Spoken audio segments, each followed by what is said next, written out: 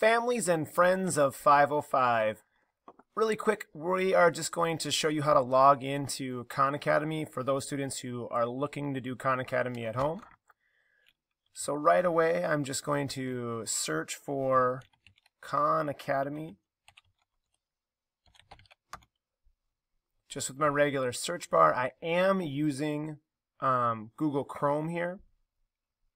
Then I'm going to go to the login in the upper right hand screen of the Khan Academy page.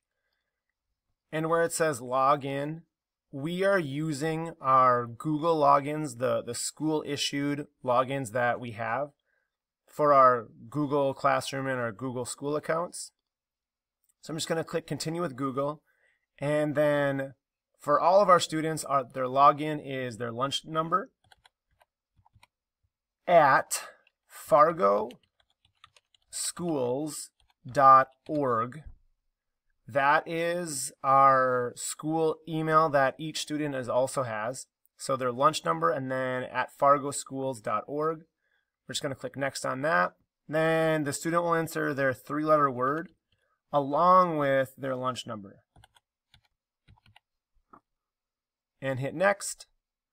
And that will redirect them and load them into their Khan Academy profile. And this is my daughter's profile right here. So from there, they can see their subjects they're working on, um, whether it's math or grammar, and then they can also see their assignments on the top of their page. So I hope this quick video helps you to get logged in with Khan Academy.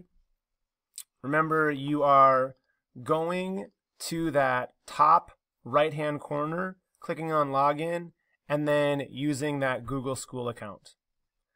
All right, enjoy.